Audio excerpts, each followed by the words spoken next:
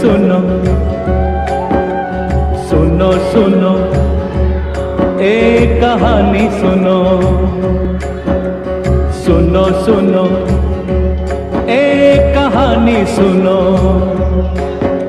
न राजा की न रानी की न आग हवा न पानी की न कृष्णा की न राधा रानी की दूध छलकता है आंचल से।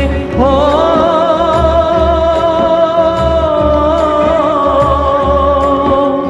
दूध छलकता है आंचल से आँख से बरसे पानी। माँ की ममता की है ये कहानी। सुनो सुनो। सुनो सुनो।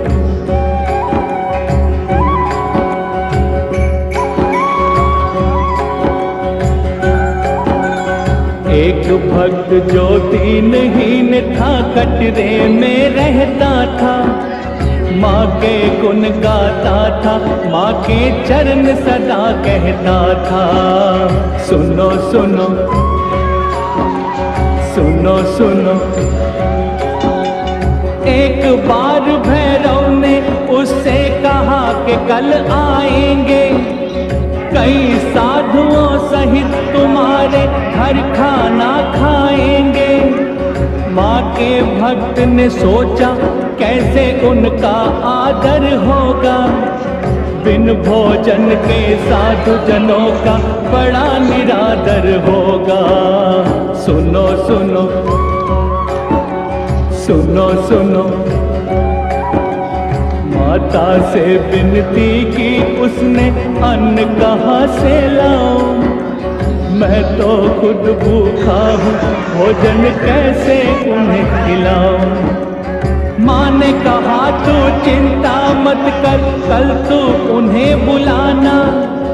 उनके साथ ये सारा गाँव खाएगा तेरा खाना। सुनो सुनो सुनो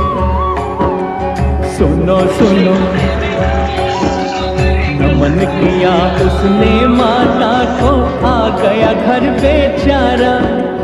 दूजे दिन क्या देखा उसने, भरा है सब भंडारा। सुनो सुनो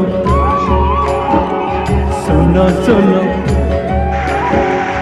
उस भैरव ने जिसने ये सारा षड्यंत्र रचाया कई साधुओं सहित जीव ने उसके घर पे आया।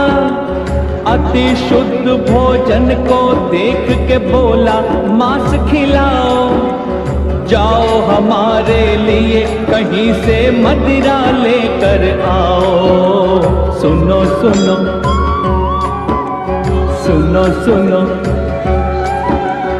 आग बबूला हो गया जब देखा उसने भंडारा। क्रोध से भर के उसने ज़ोर से माता को ललकारा।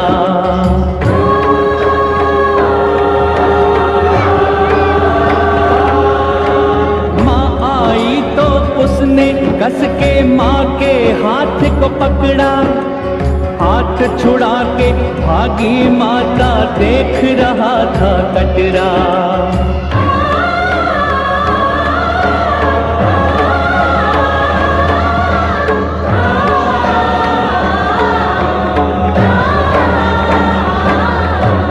अपनी रक्षा की खातिर एक चमत्कार दिखलाया, वो अस्था